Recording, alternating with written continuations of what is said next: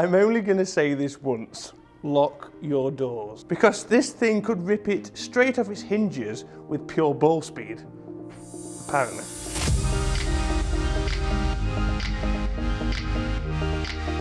So we've now covered all the new Titleist T-Series irons. The links are below to the T100, the T200, and hello, this is the T300 review. The ball speed bombing T300.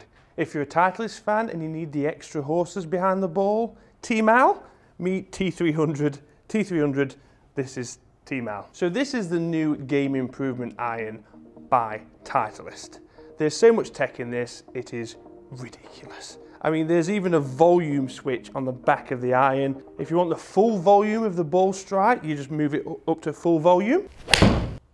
And then you move this switch all the way down if you're playing, especially in the early hours of the morning and you want it to be very quiet. It mutes the whole shot altogether, so you can't hear a damn thing.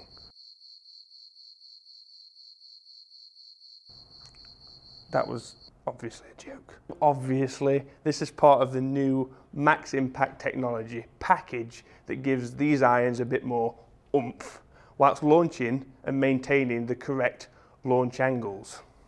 If you want a higher launch angle, it's a joke. So what other tech benefits have we got except for this max impact technology? So we've got a progressive set design, a precise CG location which boosts the MOI in the longer irons, usually needed. And to make sure the sole and the turf become very good friends, we've got an improved camber for better turf interaction.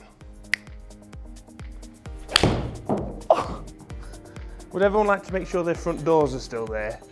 Good grief, that is the highest thing I've ever seen. How would I best explain this iron performance? How far is it to the nearest airport? The nearest one I've found is Perth Airport in Perth. 36 kilometres away. That should just give us enough clearance so we don't have to call air traffic control. Okay, let's get to the lofts. I know you're wondering.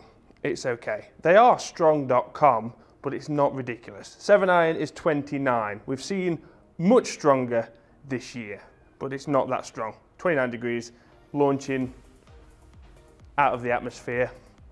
We should be all right. Whoa, that's high. Right, bedtime. Cheers. It's obvious that it is bigger than the T100 and the T200 it's progressive. It's not small, small, bang, massive head. But you don't need a rocket scientist to tell you that it is definitely bigger. So I'll leave my expertise for another time. And I'm looking at this and even though it's stronger, it just looks like it's going to visit the moon. The offset isn't massive. The top line is definitely thicker, but it's not horrendous.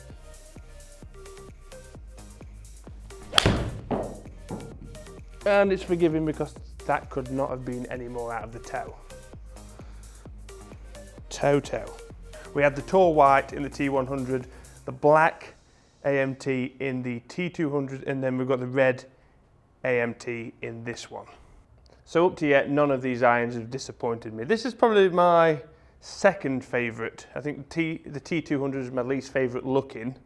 The T100, I can't find a fault. I'm sorry, there obviously are faults, but I was just madly in love with that golf club.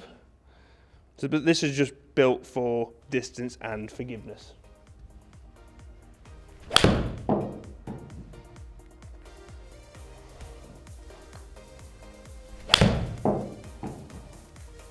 Definitely a louder, like clickier sound. Um, not something you would have got with a T100. That's flown. But like I said, this max impact technology is the power force really behind this whole thing. To give it that slightly softer feeling than what you would expect with this iron. It's got thinner face, so faster ball speeds across the entire face, strong structure, and then the polymer. To work, I think more as a dampener, um, rather than anything else to get rid of the unwanted vibrations, but I could be wrong there. I don't really know.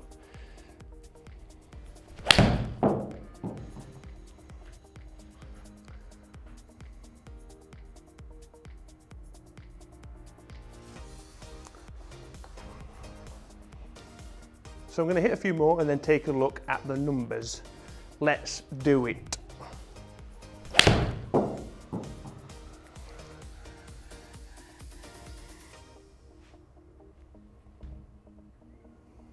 Stopped.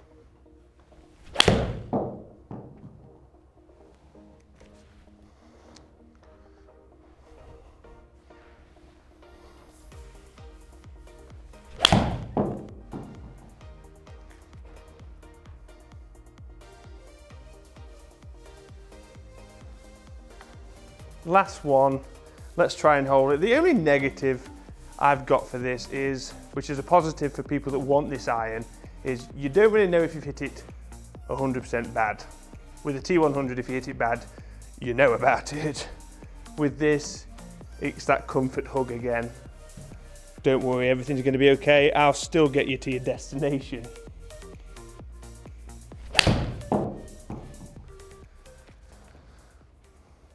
Right guys, before we dive into the numbers, remember we've got toe-to-toe -to -toe here, so comment below what you would like to see this up against in a toe-to-toe, -to -toe, and the highest, well the most popular answer, I will do a head-to-head -head with this iron.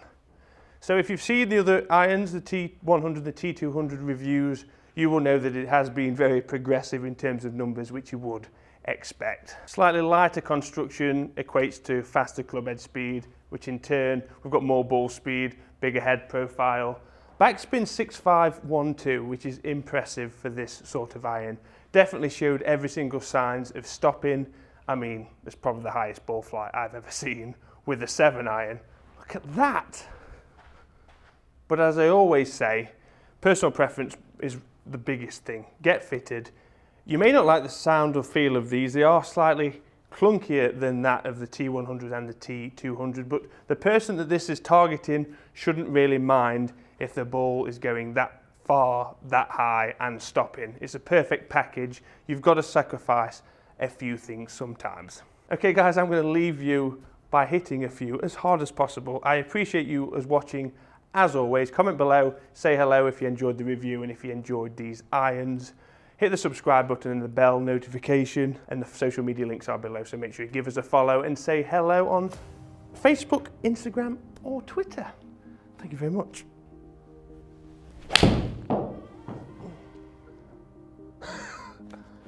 Wow. You can come down today. Can we improve on 102 mile an hour club head speed?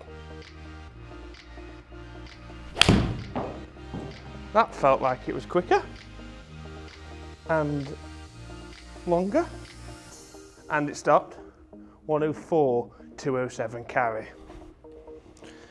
that's not that's a it's a hook it's a captain hook but who cares I win. 104 is probably the max. I don't think I've got any more.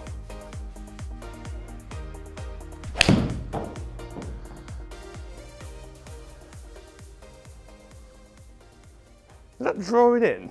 Oh, not bad, not bad.